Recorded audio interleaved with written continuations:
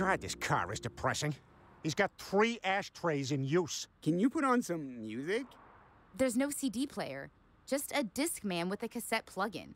You ever heard of a band called Special Delivery? Oh, no, it's his band. Oh, no. Oh, they're all in uniforms. God bless them. Oh, uh, dying on a stranger's toilet seat is bad, but this is real bad. Dad, let's get back to the pizzas. Right. We deliver the pizzas, and nobody calls the police.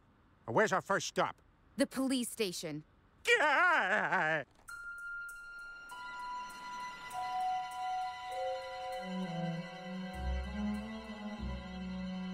There are cameras everywhere.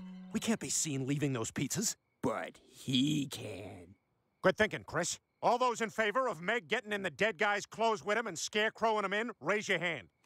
Fine, I'll do it. But only because I'm starved for human contact and he's not fully cold yet.